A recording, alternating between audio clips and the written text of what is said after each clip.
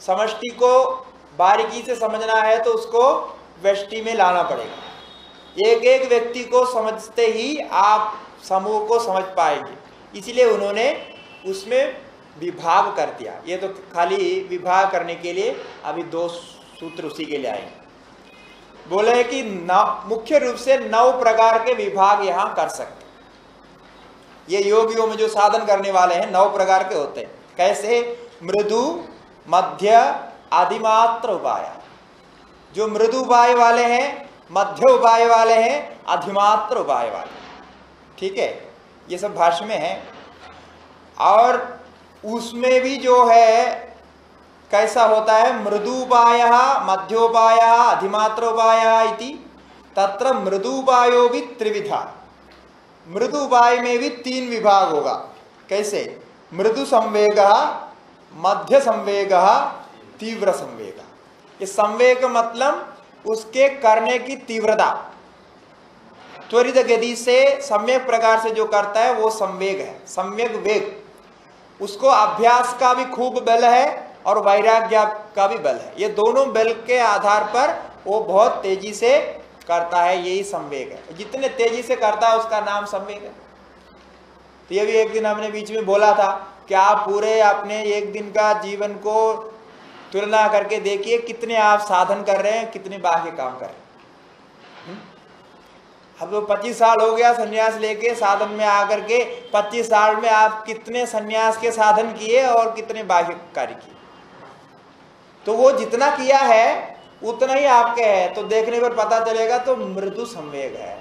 मृदु से भी ज़्यादा नीचे आगे है, वो तो और विभाग किया उन्होंने। किंतु मृदु संवेग बहुत कमज़ोर है। हम करते हैं, ऐसा बोल रहे हैं। किंतु करते कुछ नहीं, बाकी दूसरी चीज़ करते जितने लगाव से हम दूसरे चीज़ों में लगे हुए हैं, आजकल ये मोबाइल जो है ना, एक बड़ा वैसा क्या है, भगवान का पता नहीं, बहुत सारे उपयोगिता भी है उसमें, इसलिए लोग उसको छोड़ते नहीं। किंतु हमने देखा संतों को भी, साधकों को भी इसमें बहुत ऐसे रुचि आ गए कि खेल खेल जो बच्चों के लिए उन्होंने बना के रखा, उसको चीज़ भेजने के लिए, वो खेल खेल करके अपना समय बर्बाद कर अरे, कुछ तो उसमें सोचो भाई, जिसको ठीक है, आप बात करना है, बात कर लो। जो करना है करो, आगे पीछे जो उपयोग की बात तो है, उतने उपयोगिता को समझो। ये नहीं, खाली खेल, उसमें क्या क्या कलाकारी? वो कलाकारियों को समझने की बहुत बड़ी चेष्टा। ठीक है, आपको उस कलाकारी को ज़रूर समझना चाहिए। यदि आप कोई मोबाइल बेचने के लिए दुकान खोलना चाहते एक को मैंने ऐसे ही सीधा कह दिया, देखो भाई, आप साधक है, सन्यासी है। आपको मोबाइलों के बारे में दुनिया में कितने मोबाइल होता है, इसके बारे में जानकारी तब चाहिए थी यदि आपको आगे मोबाइल का दुकान खोलना है या इसका कोई एजेंसी करना है या कोई व्यापार करना है, तब चाहिए थी। अब दुनिया में कौन से मोबाइल नया निकाल ऐसे लगे रहते हैं। आपको भी सब लोगों को मालूम है आपस में। तो ये क्यों हो रहा? है इसका अर्थ क्या है? हम किस उद्देश्य से, किस कार्य के लिए हम तैयार है? हमें आगे क्या कार्य करना चाहिए? इसको ध्यान में रखें, ठीक है? उसी की गलती, वो गलत चीज़ नहीं है। गलती आपके ऊपर है। उसकी उपयोगिता जितना है, उतना उपयोग करो। बाकी समय उसको चुप रहने दो। यदि आपको उसमें और काम करना हो, तब उसको सीखना होता जितना काम आपको करना है, उतने काम उससे सीखे। अब उसकी बहुत बड़ी महिमा समझते क्या हम तो ये जानता है, वो जानता है, हम इसमें इधर करना जानता है, उधर करना जानता है। अरे सब पागलपन है, आप तो उसके लिए लायक है ही नहीं। वो जो करना है, जिसको करना है, वो करें। तो पूरा समय खा जाता अब बोलते हम साधक है, हमको फिर कुछ नहीं हो रहा, प्राप्ति नहीं हो रहा है साधन नहीं हो रहा, स्मृति नहीं हो रहा है वीर नहीं हो रहा है श्रद्धा नहीं, कुछ नहीं। कहाँ होने वाला ये सब? तो मन आप दूसरे लगा लगा दिया, सारे बुद्धि के तेजस्वीता को आप दूसरे लगा लगा दिया। जो कुछ थोड़ा एकाग्रता, ध्यान भजन जब करके मिला है या मिल रहा है, उसको आप कहीं और बहा रहे इसलिए चित्त नदी, पहले कहा था उभय वाहिनी दोनों तरफ़ बहता है। जहाँ बहाओ, वहीं उबहते जाता इसीलिए ये तीव्र संवेग, ये संवेग को अलग अलग करके बताया कि आपका अपने आप देखने के लिए आप कौन से संवेग में आए। इतना ही उनका उद्देश्य है, बाकी विवाह करने का कोई उद्देश्य नहीं। इसलिए मृदु संवेग मध्य संवेग तीव्र संवेग तथा मध्य उपाय, अधिमात्र उपाय इति तत्रावि अधिमात्र उपाया नाम इनमें सबसे जो श्रेष्ठ होगा, जो अधिमात्र संवेग वाला होगा, उसका क्या होता है वो बता रहे स्तुति कर रहे उनको। तीव्र संवेगा नामासन्न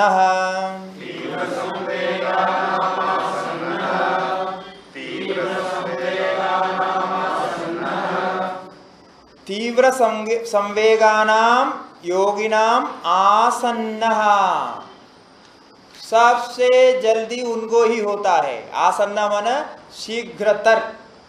सबसे निकट प्राप्त होता है संरचना यदि उनके अंदर तीव्र संवेगता है, पूरी ताकत को मन की जो ताकत है, उसको उसी में ही लगा दिया, उसी को ही किया तो उसका पूरा फल उनको निकटतम प्राप्त होता है। अब इससे आप बाकी अपने आप समझ लो। यदि आपको प्राप्त नहीं हो रहा है तो आपने पूरा लगाया नहीं। आप कुछ और और करते रह रहे हैं और इसमें नहीं लगा रहा। तो उसको लगाने के लिए कहाँ लगाना ये जानकारी चाहिए। पहले जानकारी ठीक प्राप्त करो, उसके बाद जहाँ जैसा लगाना है, वहाँ लगाओ। और लगा करके आप देखो होता है कि नहीं होता। लगाने पर होता है, इसमें कोई संशय नहीं। यदि आप लगाने पर नहीं होता है, ये समझेंगे तो शास्त्र पूरा व्यर्थ हो जाएगा। शास्त्र झूठ नहीं बोलता है। आपको परेशान करने के लिए नहीं बोलता है। ऐसा नहीं समझना शास्त्र कह दिया तो हमको करना पड़ रहा है। यही नहीं। आपको परेशान करके शास्त्र का कोई प्रयोजन नहीं है। इसीलिए शास्त्र कह रहा है कि यदि आप लगो तो ज़रूर होगा। इसके लिए वो बोल रहे तीव्र संवेगा नाम आसन। नहीं तो क्यों बोलना था? तो जो श्रद्धा वीर स्मृति पूर्वक जिनको जो स्थिति होती है उनमें भी यदि तीव्र संवेग है तो तीव्र संवेग वाले को आसन्न ही समाधि लाभ होगा। तो दूसरे विषय से जैसा आप हटा दो तो वो हो जाए। आप बोलते हैं, नहीं नहीं, हम तो ये भी कर सकते हैं, वो भी कर सकते हैं, समाधि भी लगा सकते हैं, फिर हम खेल भी कर सकते हैं, फिर क्या है, सब कुछ आप कर सकते हैं, ऐसा बोलेंगे तो बिल्कुल झूठ बोल रहा है। वो नहीं कर सकता, क्योंकि मन में शक्ति सीमित है। शरीर में भी शक्ति सीमित है। जो सामान्य व्यक्ति को बनाया, वो सामान्य व्यक्ति में थोड़ा बहुत तो एक दो नंबर का एरफेर हो सकता है अपने जीवनचर्या के अनुसार। किंतु एक सीमित शक्ति ही दिया है आपको शारीरिक रूप से, मानसिक रूप से। उससे अधिक शक्ति नहीं दे सकती है, क्योंकि वो देने पर आपका शरीर काम नहीं करेगा। जितने शक्ति का जैसा जिस वायर में जितनी बिजली जानी चाहिए, उससे अधिक बिजली को वहाँ छोड़ दिया तो क्या हो जाएगा? वायर जल जाता। और बल्ब फ्यूज हो जाता। सब कोई यंत्र है तो खराब हो जाता। है इसीलिए जितने शक्ति शरीर में काम कर सकती है और उसको सम्यक प्रकार से कराने के लिए उतनी शक्ति उसमें प्रोड्यूस होती है और उतने ही वो आप काम में ला सकते इसी प्रकार मन में भी है। मन में जितने शक्ति है, वो निश्चित समय के लिए उतने ही शक्ति से आप काम ले सकते हैं। उसको 25 काम में नहीं लगा सकते। यदि आप 25 काम में लगाएँगे तो उतनी शक्ति को वो 25 काम में विभाजन कर देगा। तो उतनी शक्ति से जो 25 काम में जो सिद्ध होना है, उतना सिद्ध हो जाएगा। पूरा होगा ये पहले समझना है। क्या हम ये नहीं समझना है कि हमारे अंदर सब है हम सब कर सकते हैं? ऐसा नहीं होता। एक समय में एक ही काम में आप लगातार करते रहेंगे और उसके संबंधित जिसको करेंगे, उसमें ही वो मन पूरा लगेगा तो उसका पूरा फल वो लाएगा बहुत लोग ऐसा समझते हैं, हम सब कुछ कर सकते हैं, हमको कुछ नहीं होता। बिल्कुल मूर्खता है, ऐसा हो नहीं सकता। तो इसीलिए तीव्र संवेग कहने का तात्पर्य है कि उन्होंने पूरी ताकत को उसी में लगा दिया तो इसीलिए उनको फल सिद्ध हो गया। उसी में लगा करके वो आगे बढ़ रहा। तो ऐसा आप किसी भी काम में लगाइए, हो जाएगा, ये स्तुति के लिए बोला। तो आसन्न का अर्थ एकदम निकट होता है।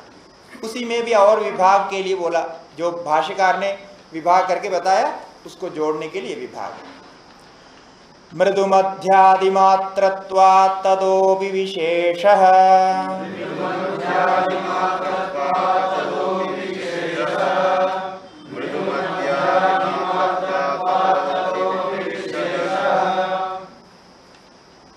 महर्षि कहते हैं कि किसी को अभी सुनकर के दुख लगा होगा, तीव्र संवेगाना आसन्ना हम तो तीव्र संवेग है, फिर भी हो सकता है तीव्र संवेग में भी कोई और विभाग हो।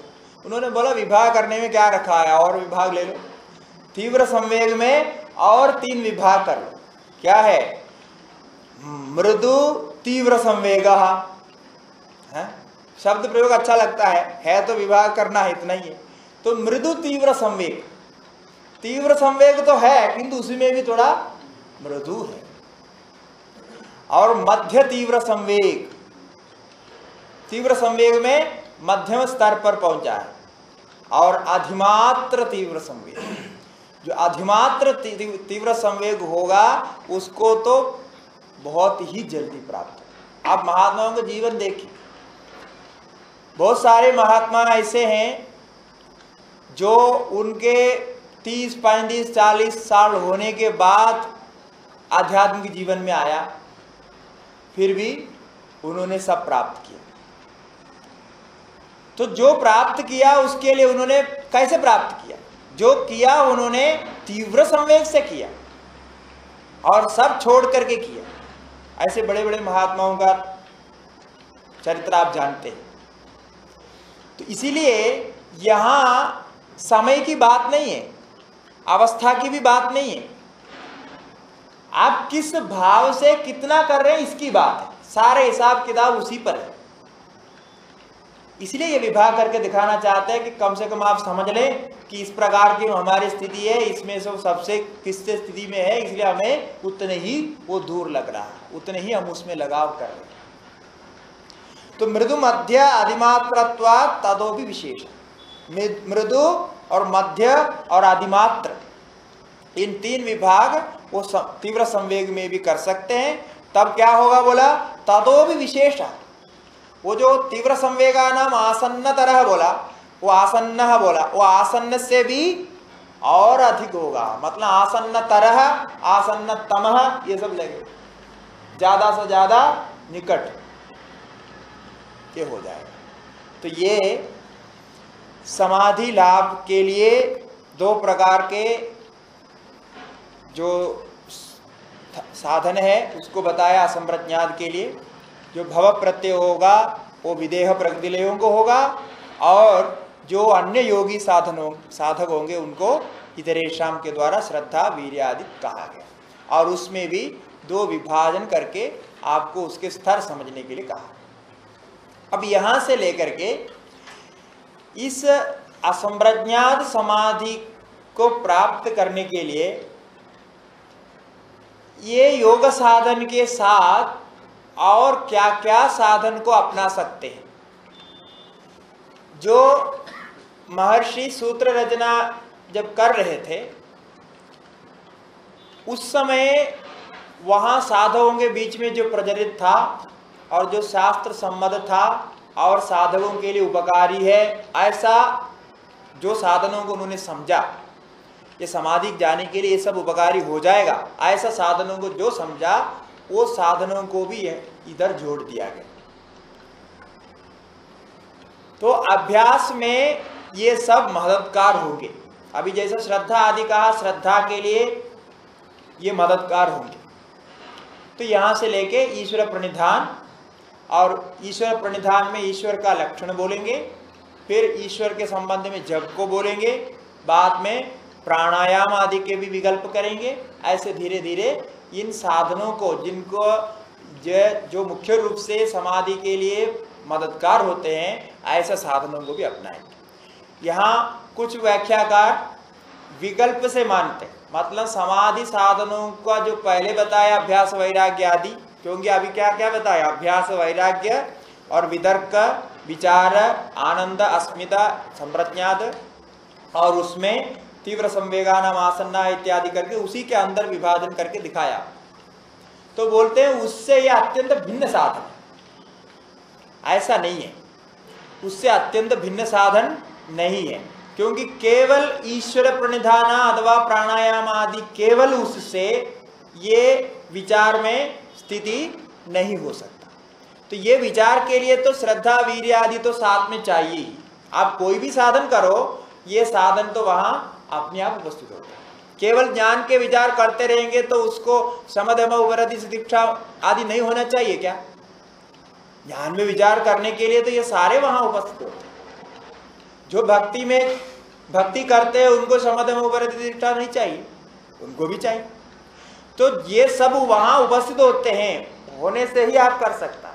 उसके बिना नहीं कर सकते। इसलिए यद्यपि यहाँ विकल्प करके उन्होंने बोला, वह प्रयोग किया इसका अर्थ वो भी इसमें जोड़ा जा सकता है।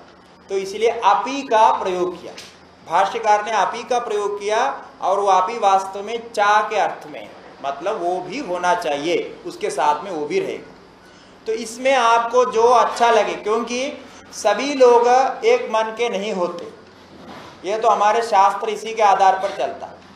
सबको एक ही नुस्खा, एक ही दवाई काम नहीं करता।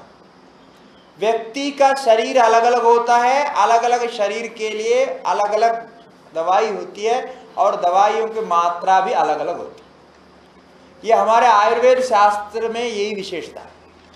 आयुर्वेद शास्त्र एक सामान्य रूप से दवाई का निदान कभी नहीं करता। वो व्यक्ति को लेकर के बदलता है।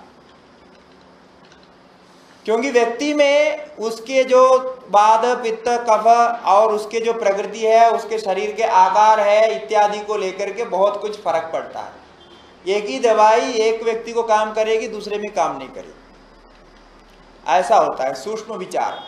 और ये आयुर्वेद के जो तत्वशास्त्र है, वो भी ऐसे सांख्य से जुड़े हुए इसमें जो गुणत्रय का विभाग करेंगे, इन्होंने भी सारे गुणत्रय के आधार पर शरीर के संबंध को ये सारे समझाए और सांख्य नहीं समझ में आएगा तो आयुर्वेद का तत्वशास्त्र समझ में नहीं आएगा। तो सारे शरीर का जो विश्लेषण आयुर्वेद में करते हैं, उस सांख्य के तेरे को लेकर के ही करते हैं।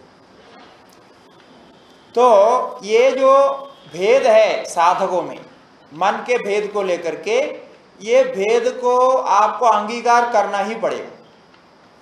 तो इसीलिए साधन, साधनों में भी, विशेष साधन में कुछ विशेष परिवर्तन, विशेष साधक के लिए आवश्यक होता है। ऐसा ही जो केवल एकाग्रता का अभ्यास बिना कोई मदद से कर सकता है, वो तो उत्तम अधिकारी है। और कोई कोई साधक ऐसा होता है, अकेला बैठ करके बहुत कुछ नहीं कर सकता। उनको गुरु के सानिध्य चाहिए। गुरु के सानिध्य में रह करके ही वो शुरुआत का साधन कर सकता है। ऐसे बहुत सारे साधक ऐसा होते आपको अपने अनुभव किया होगा, कोई गुरु के सानिध्य में रहेंगे, रहा है तो उनका अनुभव होगा गुरु के सानिध्य में उनको कैसे होता है। वो विशेष होता है। गुरु के सानिध्य से बाहर जाने से थोड़ा बहुत इधर उधर मनमानी करने लगते हैं। इसीलिए कुछ साधक उस तरह के होते हैं। और कुछ साधक एक समाज में रह करके ही साधन कर सकते क्योंकि उनका भी ऐसा रहता है नियमों को पालन करने के लिए कई लोग करता हुआ दिखाई पड़ना चाहिए। तब वो करता है। हाँ, वो नहीं कर रहा है तो हम नहीं कर वो कर रहा है तो ठीक है हमको भी करना चाहिए। ऐसे विचार के भी लोग होते कि हम कर रहे हैं, नहीं कर रहे हैं तो हम जो कर रहे हैं, वो दूसरा भी कर रहा है तो ठीक है। यदि हम जो कर रहे हैं, दूसरा नहीं कर रहा है तो ठीक नहीं है। वो वो पढ़ रहा है तो मुझे भी वो पढ़ना चाहिए। वो ऐसा कर रहा है तो मुझे भी वो करना चाहिए। ऐसा दूसरे का देख देख करके साधन में लगने वाले भी बहुत सारे होते हैं। ये एक स्तर के साधक तो उन, ऐसे साधकों को हमेशा साधकों के समाज में, संत के समाज में ही रहना चाहिए। वो अकेला जाएगा तो उल्टा पुल्टा कर देगा। उल्टा पुल्टा क्या? दूसरा जो कर रहा है वो ही करेगा वो। क्योंकि उसका आदत ऐसा नहीं, मैं ऐसे मज़ाक नहीं बोल रहा, सच्चाई है। वो साधकों के समूह से बाहर जाके आप उसको देखिए। यदि गृहस्थों के साथ, यदि भक्तों के साथ रहेगा तो कुछ दिन के बाद वो भक्त जैसा कर रहे वैसे करने लगता ऐसा हमने देखा है किसी को ऐसे करते हुए। वो भूल जाता है, इधर की बात भूल जाती है, क्योंकि उसको आदत है ना, दूसरे जो कर रहे हैं, वही अच्छा है करके, वो भी ऐसे कपड़ा पहनने लगता है, वो भी ऐसे चलने फिरने लगता है, बात करने लगता है, खाने पीने लगता है, सब होता है। बाद में देखने से पता चलेगा कि ये साधु के साथ रहा ही नहीं। पूछने से पता चलता नहीं, हम बहुत साल पहले रहे थे, वहाँ भी रहे थे। तो ये स्तर के साधकों को बहुत खतरा होता है, उनको हमेशा एक ऐसे समाज में सिक्योर में रहना चाहिए। नहीं तो वो विचलित हो जाएगा, रास्ते से भड़क जाएगा। ये सब गुरु निर्णय करते हैं, गुरु दे करके उसका आदत दे करके निर्णय करते हैं कैसे इनको रखना ठीक है। और कोई कोई साधक होता है कि वो किसी के शरण में रह करके ही साधन कर सकते गुरु ही होना ज़रूरी नहीं। किसी अन्य साधक भी हो, अन्य कोई स्थिति में रहने वाले को उनके शरण में, उनके आश्रय में रह करके ही साधन कर सकता है। तो इस प्रकार से बहुत भेद है साधकों में। और कोई होता है, एकांत में ही साधन कर सकता है, ऐसा भी होता है। उनको कोई समाज नहीं चाहिए। एकांत में रहेंगे तो उनका साधन होगा। ऐसे भी होते हैं, उस कोटि के भी होते किंतु किसी भी प्रकार का साधक हो, उनके लिए साधन का निश्चय ये करके आप नहीं कर सकते। ये साधन ये साधन इन सब के लिए है, ऐसा नहीं हो सकता। इनके मन को ठीक समझ करके वो भेद करना पड़ता है। इसीलिए ये वैकल्पिक साधनों को भी साथ में बता दे रहे हैं कि इनको भी अपनाते हुए मतलब जो पूर्व साधना आप कर रहे हैं, उसके साथ इनको भी अपने अपने क्षमता के अनुसार, अपने अपने जो अधिकारिता के अनुसार, मन के अनुसार जोड़िए। तब आपको उसमें मदद मिले तो ये है तो ये पूरा पाद उत्तम अधिकारी के लिए है। किंतु उत्तम अधिकारियों में भी इस प्रकार का भेद मानना चाहिए। जैसा अभी तीव्र संवेग में ही अलग अलग भेद कर दिया। इसी प्रकार है तो ये पाद उत्तम अधिकारी के लिए। किंतु उत्तम अधिकारियों में भी ऐसे मन वाले होते इसको लेकर के आगे सूत्र प्रवृत्त होता है ईश्वर प्रणिधानाद्वा।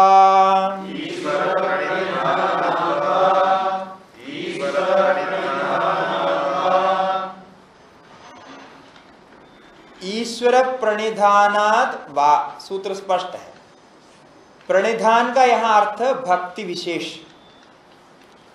जिसको भगवान ने अनन्यास चिंदो माम, ये जना पर्युपासते, ऐसा कहा, उस प्रकार की भक्ति विशेष को यहाँ प्रणिधान शब्द से कहते संपूर्ण समर्पण, यही यहाँ प्रणिधान शब्द का अर्थ है। ये प्रणिधान शब्द आगे भी आएँगे तो जहाँ भी प्रणिधान शब्द आएगा तो उसको ऐसा समझना। इस प्रकार के पूर्ण समर्पण कर। तो ईश्वर प्रणिधान ईश्वर प्रणिधान, ईश्वर समर्पण को भी इसके साथ जोड़ना चाहिए। क्योंकि इससे क्या होगा? श्रद्धा में बल मिलेगा। ईश्वर समर्पण कर दिया, जो कुछ मैं कर रहा हूँ, वो ईश्वर की सहायता से कर रहा हूँ। आज मैं इधर बैठा हूँ, ईश्वर की सहायता से बैठा हूँ। मेरा सारा काम ईश्वर की सहायता से हो रहा है। ऐसा जब भाव आएगा तो आपको वो भक्ति विशेष होगा, वो भक्ति विशेष श्रद्धा को दृढ़ करेगा। श्रद्धा को हिलने नहीं देगा। क्योंकि आप बोलेंगे ये नहीं होगा तो ईश्वर के अलग क्या हो रहा है?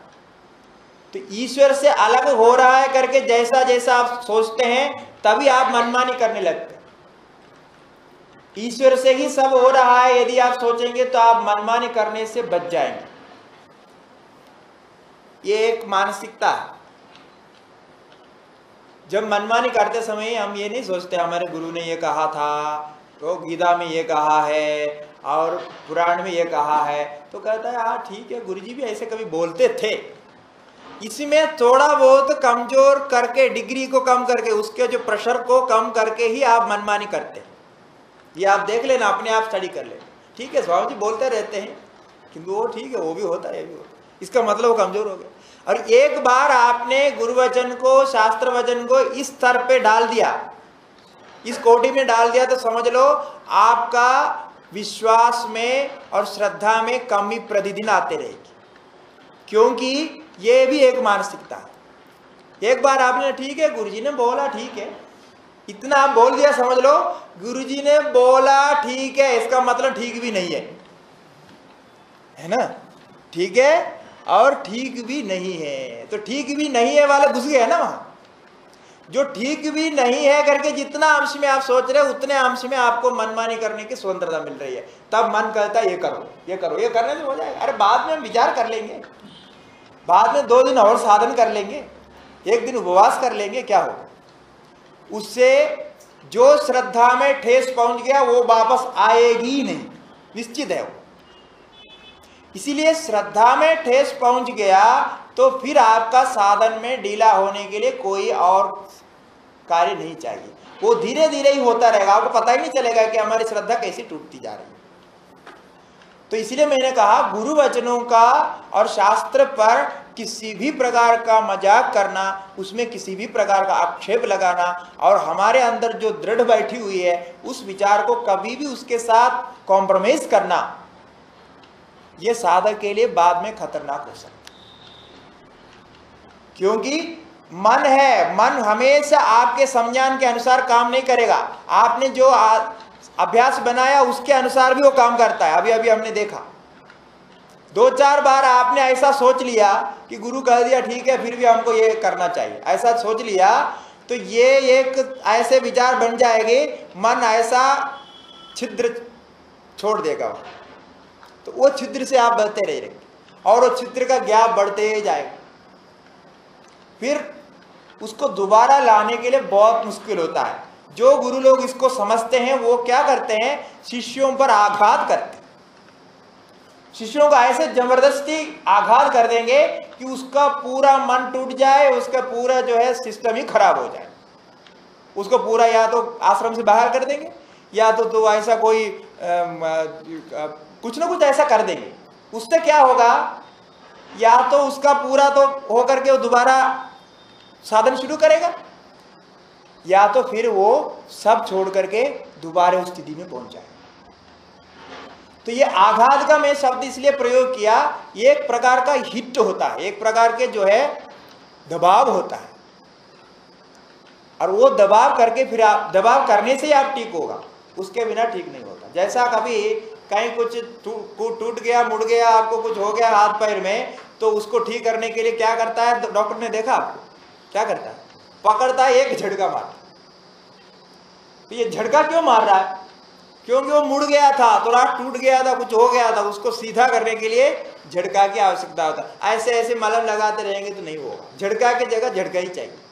इसलिए ऐसा झटका देता, आघात करता है, तब वो दोबारा आएगा।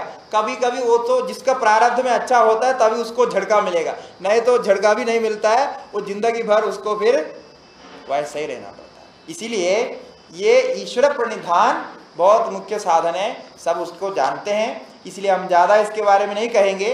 गीता आदि शास्त्र भक्ति शास्त्र जो अध्ययन किया है, वो सब जानते हैं। इसका इतना ही भाषण में कह रहे हैं कि ये जो ईश्वर के भक्ति करेंगे तो क्या हो जाएगा? ईश्वर सब प्रतिबंधों को हटा देंगे।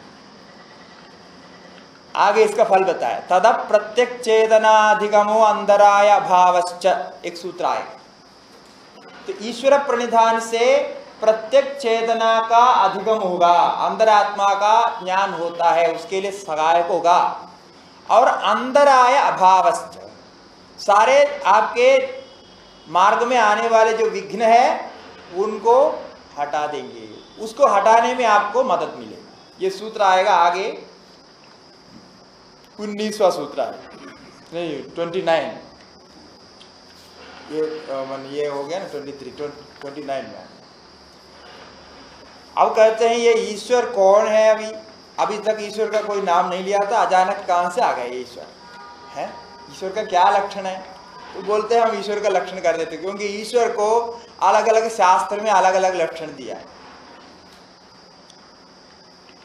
तो अब वेदांत शास्त्र ईश्वर का कुछ और लक्षण देता है, भक्ति शास्त्र और कुछ बोलता है, और पुराण आदि और कुछ बोलता है, बहुत कुछ है तो पूछते हैं, आपका क्या लक्षण है ईश्वर का? अभी क्या है, इनको अपने मूल सिद्धांत को बनाए रखते हुए ईश्वर को भी बीच में लाना है। तो महर्षि जी ने अपने बहुत धैर्य पूर्वक ईश्वर को बीच में लाया, क्योंकि उन्होंने देखा ईश्वर के बहुत उपयोगिता है। ईश्वर प्रणिधान की बहुत उपयोगिता है साधन। इसलिए उन्होंने उसको यहाँ रखना ठीक समझा। यद्यपि मूल सांख्य सिद्धांत में कुछ अंश में ये मिलेगा नहीं, क्योंकि मूल सांख्य सिद्धांत में दो ही है, प्रकृति और पुरुष। उससे अतिरिक्त तो कोई सत्ता नहीं मानते। तो अभी इसीलिए ये क्या है, पुरुष कोड़ी में रखते। पुरुष में ऐसा एक पुरुष का अर्थ यहाँ चैतन्य है। तो जड़ चैतन्य दो ही है। तो जड़ के कोड़ी में नहीं रख सकते। तो चेतन के कोड़ी में रखते हैं। तो ऐसा एक तत्व है, चेतन तत्व है ये, जो उनका काम क्या है? कोई सृष्टि आदि करना काम नहीं। अब वेदांत में सारे सृष्टि आदि सब ईश्वर से ही होता है। माया उपाधिक ईश्वर है जन्माद्य से वहाँ से लेके सब कुछ वेदांत में होता है। वो परम कारण है सबके प्रति, कारणत्व की दृष्टि से उनको देख किंतु ये कहते हैं, ये ईश्वर जो तत्व है, ये सर्वज्ञ है। और नित्य सर्वज्ञ रहता है। ये कभी बद्ध नहीं हुआ, ऐसा एक चेतनांश है। और नित्य सर्वज्ञ रहने वाला चेतनांश है। किंतु करता क्या है? जो साधक इनके प्रणिधान में आता है, उनके मार्ग में वो अंतरायों का अभाव करता उनको संरक्षण देता रहता ये संरक्षण देना इस चैतन्य विशेष पुरुष का कर्तव्य इतना ही पूरे योग शास्त्र में ईश्वर का कर्तव्य। बाकी कुछ कर, बाकी और कुछ नहीं, क्योंकि बाकी कार्य सब प्रकृति करती। और चेतन तो कुछ करता नहीं, वो केवल है। ये जो विशेष चेतन है, इनका तो अंतराय अभाव करना ये कार्य है। इसके लिए ईश्वर का लक्षण देते हैं। क्लेशकर्म विपागाशयैरपरामृष्ट पुरुष विशेष ईश्वर।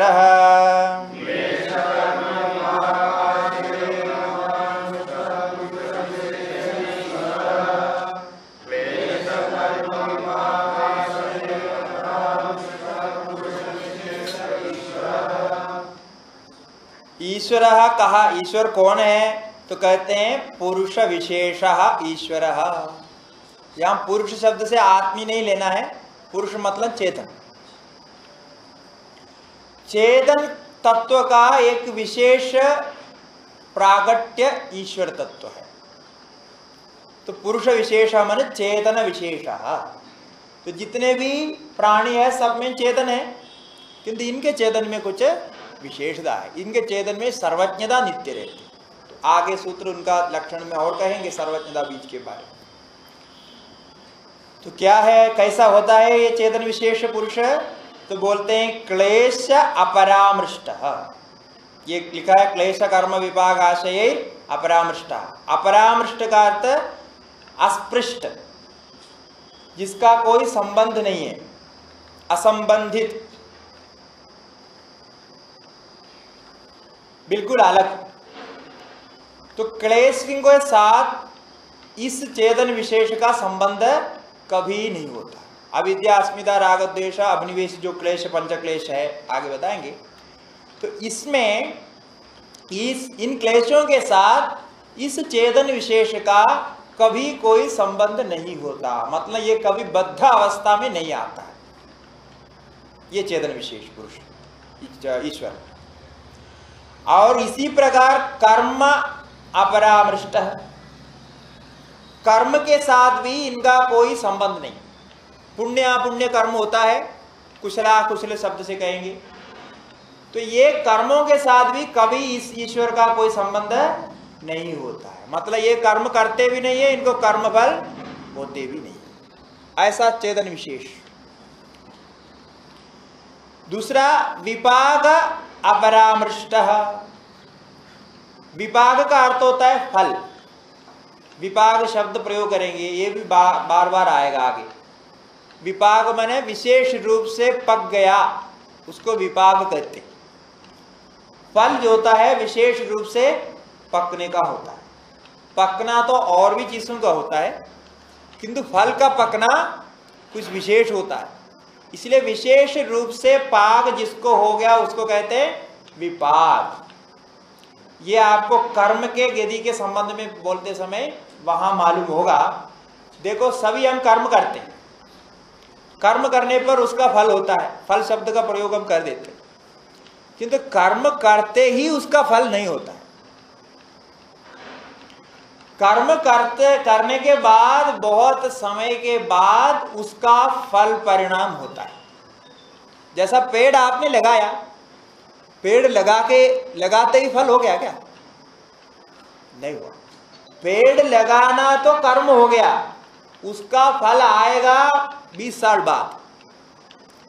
तो फल पकने का प्रोसेस अभी हो गया है, इसीलिए हम फल कह देते क्योंकि पेड़ लगाने से ही शुरू हो गया, क्या हो गया? फल तैयार होना शुरू हो गया ना। ये पकने का मतलब ये है। इसलिए उन्होंने विपाक कहा, विशेष रूप से पकना। जो अभी जन्म में आप आया है, वो कुछ कर्मों को लेकर के आया है। कर्मों का फल को लेकर के आया। ठीक है? ये कर्म फल कैसे हैं कि पहले जन्म, जन्मांतरों से पहले आपने किया था, जितने कर्म किया था, उन कर्मों में बहुत सारे कर्म अभी विशेष रूप से तैयार हो गए। तो जितने विशेष रूप से कर्म तैयार हो गए हैं, उन कर्मों को इकट्ठा करके देखने पर दिखता है ये मनुष्य शरीर के लिए उपयुक्त है तो आपको मनुष्य शरीर मिल जाता। तो विशेष रूप से पकने से ही होता है। इसीलिए विभाग शब्द का अर्थ है, जाति आयुर्भोग। ये सूत्र आ गया है। जन्म और जन्म प्राप्ति में आयु, जितना काल तक रहना, जन्म, आयु और भोग। ये है विपाक, कर्म का विपाक। मतलब विशेष रूप से तैयार हो गया। अभी आपने पेड़ लगाया, पेड़ बढ़ते बढ़ते फल हो गया किंतु पेड़ लगाते समय ही आप कह सकते हैं फल हो गया कह सकते कर्म किया तो फल होगा ना? तो पेड़ लगाते समय फल होगा, किंतु फल प्राप्ति के लिए उसके विशेष पकना होगा। विशेष पकना तो कालांतर में कभी भी हो सकता है। जैसा विशेष पकना हो गया तो क्या करेंगे आप? विशेष पकना हो गया तो क्या करेंगे? खाएँगे? उसका भोग करेंगे। तो जो भोग के लिए तैयार हो गया, वही फल होता है वास्तव। समझ में आया? कि भोग के लिए तैयार होना फल है, किंतु लगाते समय भी हम कहते हैं फल हो गया, किंतु फल नहीं हुआ। वो विशेष रूप से पका नहीं है। फल का पकने की क्रिया जारी है। इसलिए यहाँ जाति आयुर्भोग को फल कहेंगे, विभाग कहेंगे। वो विभाग जो होता है, जाति आयुर्भोग उससे भी ईश्वर का अपरामृष्टत्व रहता है। तीनों काल में उसके साथ भी उनका संबंध नहीं रहता। और है आशय। आशय के बारे में कल कहेंगे, क्योंकि आशय में कुछ विशेष बातें बताने की है। का आशय का नाम कर्माशय है, और इस कर्माशय को ही वासना भी कहते हैं। इसलिए हम वासना के बारे में कुछ विशेष बताना चाहेंगे इसमें। तो वासना और संस्कार, और वो कैसे कर्माशय बनता है और संस्कार और विचार और वासना के जो स्थिति है इसको समझेंगे।